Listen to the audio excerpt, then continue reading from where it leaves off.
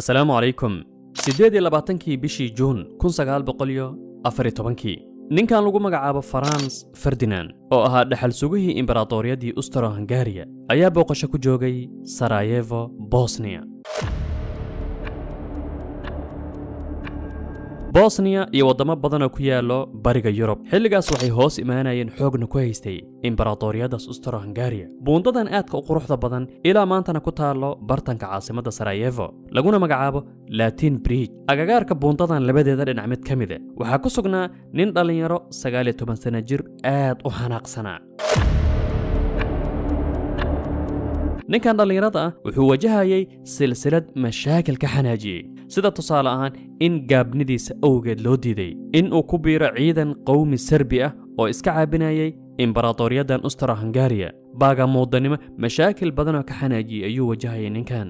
Haddaba mudanayaal xanaaqaas ninkaas dhallinyarada uu xanaaqay wuxuu sababay dhimashada labaatan milyan oo qof iyo dhaawaca malaayiin kale burburka imberatoriyada waaweyn sida tii dowladdii cuhmaaniyiinta ustro hungariyadaas iyo dowlado kale. Kadib markuu ninkan dhallinyarada lagu magacaabo gafrilo barinsiib dilay dhaxal sugihii ustro hungariya farans ferdinand waana tii markii dambe uu holcay dagaalkii koobaaday adduunka. Kadib markii ustro hungariya dagaal ku qaaday serbiya waddamo kalena ay labada dhinac la safteen. Xanaaqa waa mawduucan ka hadlayna maanta. Tijaabooyinka wanaagsan ee kudayashada mudan waxaa ka mid a tusaale ahaan taariq suweydaan wuxuu yidhi ninkan laga soo bilaabo kow iyo sagaashankii ma xanaaqin. Wax ka badan soddon sano. Ma ahan sida uu sheegay in uu yahay qof xakiim ah faylasuuf aanan xanaaqaynin ama sidaas ku dhashay. Wuxuu yidhi waagii hore dabcan waan xanaaqi jiray mashaakil badan ayuuna ii keeni jiray. Laakiin wuxuu yidhi tababari isxakamayn kadib waxaan gaaray marxalad aanan la iga xanaajin karin. Sabab wuxuu leeyahay in aad xanaaqdo yacni go'aankeeda adiga iska leh. Waa go'aan adiga aad qaadanayso. Taasoo ka dhigan in aad meesha ka saarayso waa la idaandaansaday way iga xanaajiyeen. Wuxuu yidhi marxalad waxaad gaaraysaa aad ka gudbayso waa la iga xanaajiyey. Waa la idaandaansaday hadalkiisa ayaa iga xanaajiyey. Waxaan samaystay ayuu yidhi harag yacni waxaan ku tilmaami karnaa haragiixaas oo daandaansiga ka soo korooday aanan laga xanaajin karin. Wuxuu yidhi maanta wax walba haddaad samayso micnaha igama xanaajin kartid ima daandaansan kartid. Nin ayaa nebiga u imaaday sala allahu calayh wasallam. Wuxuuna rabay dardaaran noloshiisa uu ku maareeyo. Waxaa laga yaabaa ninkan inuu meel fog ka imaaday inuuna haysanin waqti uu cilmi badan ku barto. Nebiga ayuu yidhi ii dardaaran dardaaranisi nebiga ma uuna dhihin cilmigaas baro salaad noocaasa tuko intaasoo maalin soon. Wuxuu ugu soo gaabiyey laa taqdab ha caroonin ninka marka wuxuu u malaynaya nebiga inuuna maqal ama naseexadan uu nebiga siiyey yacni waxaad mooddaa inuu yarayasay. Kadibna uu ku soo celiy wuxuu yidhi ii dardaaran. Mar walbana nebiga wuxuu ugu jawaabaa laa taqdab ha caroonin awsini yaa rasuul allah laa taqdab أوصني يا رسول الله. لا تغضب. حناق شر أردن واتكفو غانيسا مركا كوبات حناق أنكاد لينو طبعا واد قياسة كرتان. وحناق الشرطة إكاد على نيسا نول المالميتك طبعا تعاملك كأن لا تعامل إن أنا قد إحدى نظر ضد مسلمين. إن وحيابها الدون كتافي أنا نحناقين. طبعا قف أنا حناقين مجرى laakiin qofkaan xanaaqsan waxaan isweydiinaynaa su'aal su'aashaasoo ah waa maxay sababta uu u xanaaqay iyo waxa uu u xanaaqsan yahay? Ma shay xaqa ayuu u xanaaqsan yahay? Mase waxyaaba iska tawaafih noloshan adduunka la xidhiidho alimaam alghazaali wuxuu yidhi carada waa jirrada wadnaha xanuunka wadnaha iyo yaraanta caqliga. Waxaana sabab ayuu yidhi docfiga nafta iyo naaqisnimadeeda wuxuu adeegsaday jumlo cajiib ah wuxuu yidhi caradu waa daliil in qofka ku hortaagan uu daciif yahay. Wuxuu yidhi qofka ku hortaagan hadduu xanaaqsan yahu qaylinaayo waxay ka dhigan tahay inuu yahay qof daciifa. Wuxuu yidhi qofka xanuunsan xanuun noocu hadab xanuunka xitaa iska caadiga dabcan wuu ka xanaaq badan yahay qofka caafimaadka qabo. Qof markuu qandhado inta badan wuu xanaaq badan yahay. Dumarkana wuxuu yidhi way ka xanaaq badan yihiin ragga. Waayeelka daciifka ahna way ka xanaaq badan yihiin dhallinyarada caadiga micnaha ama kuhuusha soddon iyo wix ka bilowda saafartan bay ahayd. Alkahal wuxuu yidhi sidoo kale qofka akhlaaqda xun wuu ka xanaaq badan yahay qofka akhlaaqda wanaagsan. Ahlu macaasidana way ka xanaaq badan yihiin. Dadka caadiga ee aanan ahlu macaasida ahayn waxaa laga yaabaa inaad aragto dhallinyaro u xanaaqsanoo leh shiit gabadhaas inaan ku qabsaday ahayd. Fursad ayaa iga dayacmatay. Asagoo oola jeedo micnaha xumaanta. Hal daqiiqa isii inta aanan muuqaalka sii gelin xalaqadan waxaa sponsor u ah akaademiyad si online ah. Aad wax uga baranayso laguna magacaabo johar online academy. Waxaad si online ah uga baran kartaa maadooyinka dugsiga sare form 1 ilaa iyo form 4 isla waqtigaasna waxaa diyaar ku ah xisaabta xisaabtoo dhammaystiran. Weliba tusaalooyin laga bixinayo laylis ama exercise ayaa la socda laga shaqaynayo haddii internetka aad adeegsanayso uu culus yahay dhib ma lahan. Soo degso kadibna si offline u daawo akaademiyaddu waxay leedahay application aad ka helaysa manhajka luuqadda ingilishka dhammaystiran manhajka hadda diyaarka u ah waa manhajka dugsiga sare somalilan dhowr bilood kadibna insha allah sida ay sheegeen ay soo gaarsiiyeen waxay diyaarin doonaan manhajka dugsiga sare etoobiya waxaanu hubaa sidoo kale in ay manaahij badan gelin doonaan. Wixii faahfaahin ah oo akaademiyadda ku saabsan waxaad kala xiriiri kartaa whatsappkan ama sidoo kale telegram. Sidoo kale booqo websaytekooda soona degso applicationkooda. Dhammaan macluumaadka ku saabsan iyo meelaha lagala xiriirayo waxaan kuu soo dhigayaa descriptionka عرضة واجبك.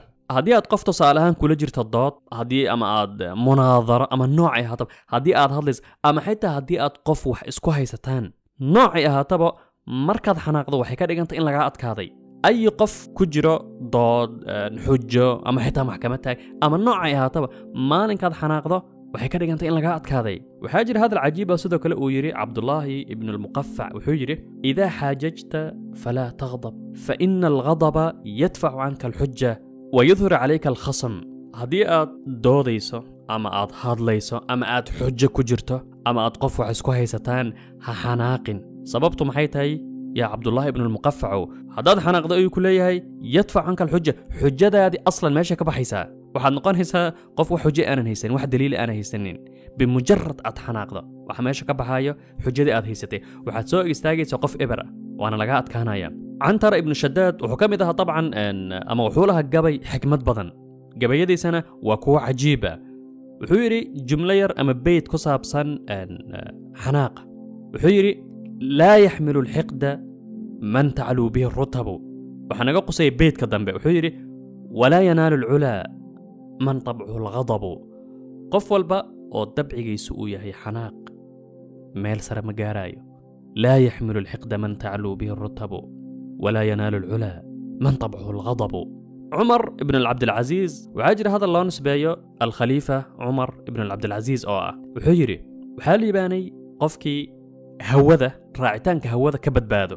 إيا سيدو كالي عرضة إيا الدمع بضن. هذه صدح ذان. Aad ka badbaado hawadaada naftaada inaad raacdo xanaaqa iyo damaca. Wuxuu yidhi waad badbaadee waxaa jira baaritaan leh in toddoba dhibic saddex boqolkiiba dadka caalamkan ku nool ay ka cabanayaan nooca ugu xun xanaaqa.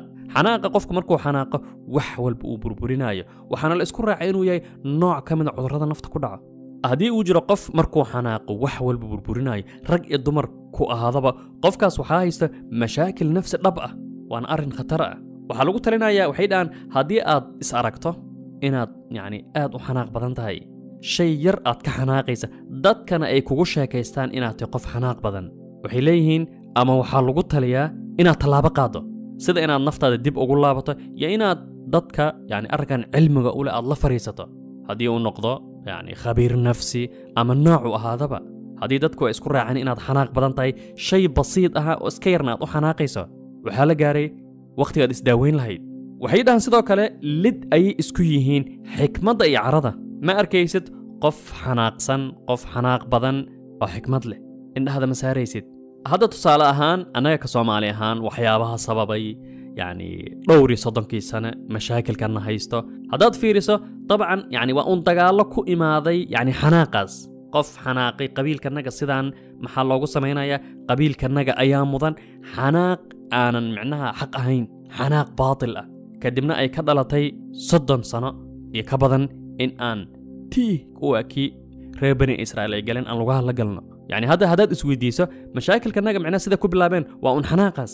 Qof xanaaqay ree hebel nama xukumayaan iyo ree hebel nama xukumayaan iyo annagaa idin xukumayno iyo annagaa xukumayna annaa ka fiican ree hebel maya annaa ka fiican maya annaa ka fiican kadibna dagaal uu bilowda dagaal sokeeye dagaal walboo qabiilna waa sidaas dagaal qabiil dabcan xaq ma ah waan wada ognahay sidaas ayuu ku bilowdaa caradaas baatilka kadibna malaayiin dad ay ku gubanayaan natiijada ka dhalata dagaalkaas waxaa lagu taliyaa haddii aad xanaaq badan tahay ama aad xanaaqdo ama xitaa yacni qof iska caadi laakiin xanaaqo in aad uga hortagi karto ama aad ku yara daaweyn karto xanaaqa. Marka koowaad annaga ka muslimiin ahaan yani islaamka wax walba xal ayuu u keenay.